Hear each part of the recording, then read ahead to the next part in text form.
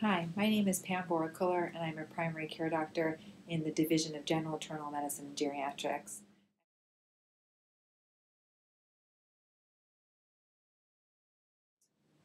When I first arrived, I thought I was going to be doing more medical student education um, and was working with a mentor who was based at the medical school. It turns out that my career took me more in the direction of residency education and administration.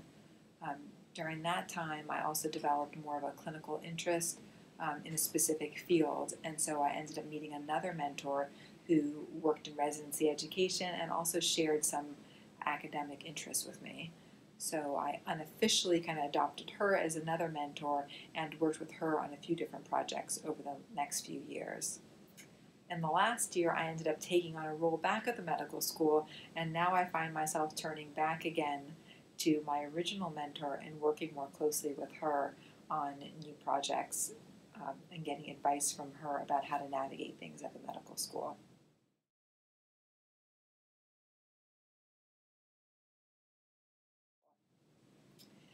For me, it was easy to have more than one mentor. Emory is a big place with multiple hospitals and people who have different interests, and so it's easy to have more than one person who's giving you guidance and meeting you um, to give you advice. I also find it's really helpful sometimes to have someone who's more senior than you, who's working on a project with you to give you advice. But sometimes it's also helpful to have someone who's not involved in the project you're working on, who's objective and outside of that project to give you some advice. I really liked having more than one mentor, and I think it served me well.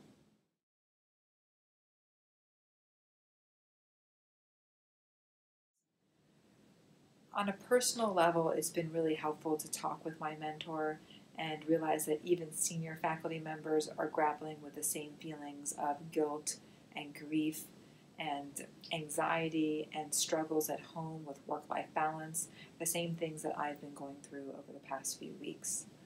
Um, on a career level, I've actually collaborated with my mentor on a project at the medical school to help kind of serve the need for medical students who aren't able to do clinical rotations right now.